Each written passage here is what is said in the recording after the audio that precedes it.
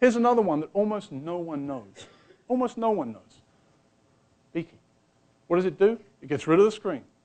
Right? So you're presenting and someone asks you a question and you want to get off topic. Now on this clicker, I can blank the screen, it just goes away. Let's deal with the question. Okay, we can deal with that. Okay, we're going to get back to it. Let me get back to it. Right? That way you control the PowerPoint rather than the PowerPoint controlling you. So if you hit the B, B for boy key, it'll go black. If you hit the B for key, it'll come back. If you hit W, it'll go white. If you hit W again, it'll come back. Here's another tip. I got all my slides printed out, 16 up on the table here. You may have seen it, you may not have seen it. I know exactly where I am. Time-wise, I know where I am.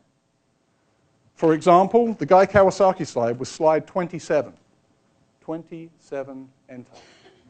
I'm right to Guy. How many times have you seen, some, oh, oh, yeah, hang on just a second. I just got to, uh, okay, hang on, hang on, hang on. And you click and you click and you click, right? No, no, no, no, no.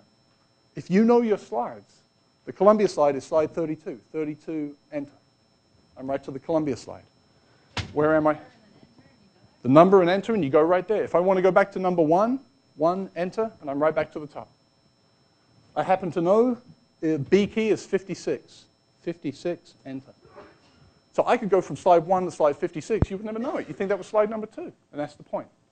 There's no right way or wrong way to do it as long as the audience walks away with your core point embedded into their skulls. You've done your job. However you do it.